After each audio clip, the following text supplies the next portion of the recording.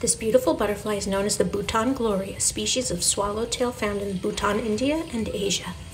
These gorgeous butterflies prefer altitudes between 5 and 9,000 feet and are rare due to deforestation and illegal collecting.